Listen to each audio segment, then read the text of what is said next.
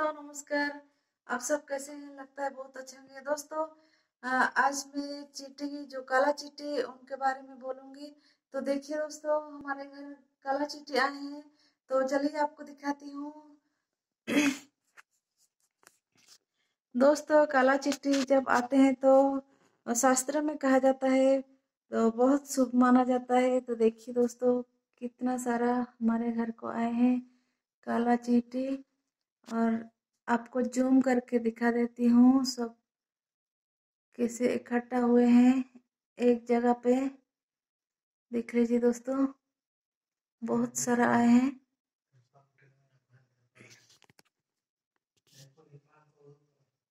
दोस्तों, यहाँ पर भी हैं, देख देख लीजिए दोस्तों, यहाँ पर भी कितना सारे आए हैं यहाँ पे।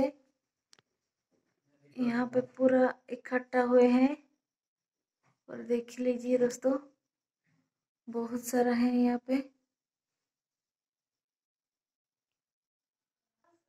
दोस्तों, यहाँ से भी देख लीजिए कितना सारा फैल चुके हैं। देखिए दोस्तों, ये रहा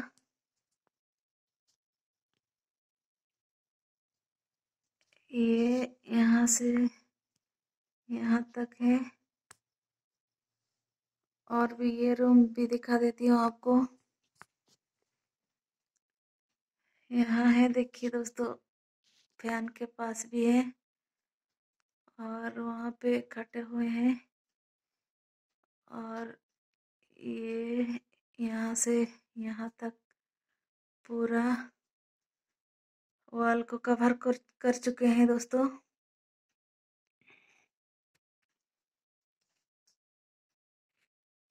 दोस्तों, शायद महालक्ष्मी का आगमन होगा, इसलिए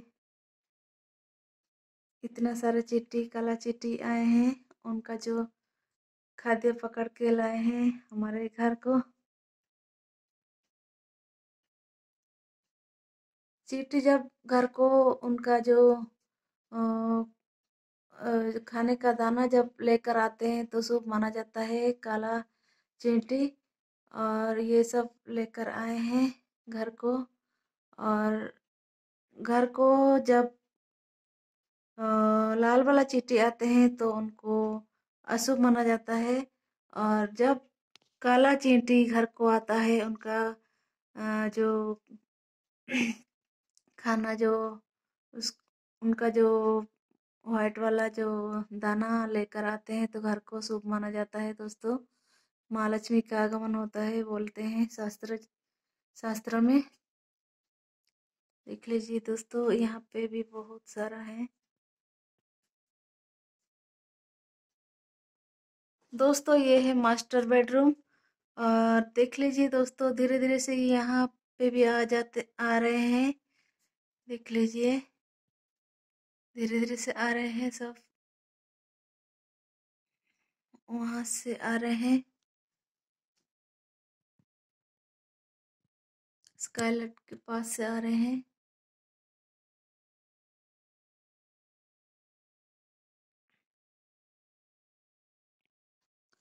दोस्तों, अभी मैं चीनी जो शक्कर और आटा दे दूँगी।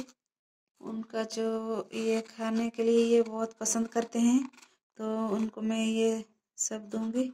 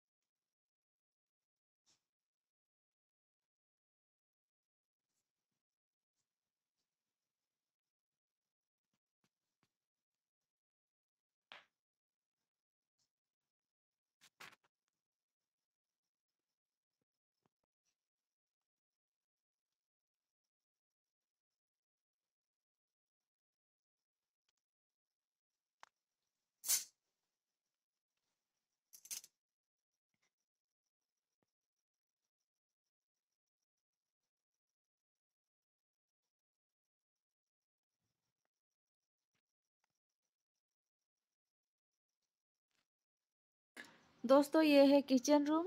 सभी रूम को घुस के आए हैं और घूम के आए हैं। ये देख लीजिए दोस्तों, कितना सारे यहाँ पे भी मौजूद हैं, किचन रूम में भी। दोस्तों, आज का मेरा चींटी वाला वीडियो अगर आपको अच्छा लगा हो तो लाइक एंड सब्सक्राइब ज़रूर करें दोस्तों। Thank you so much take care bye bye love you guys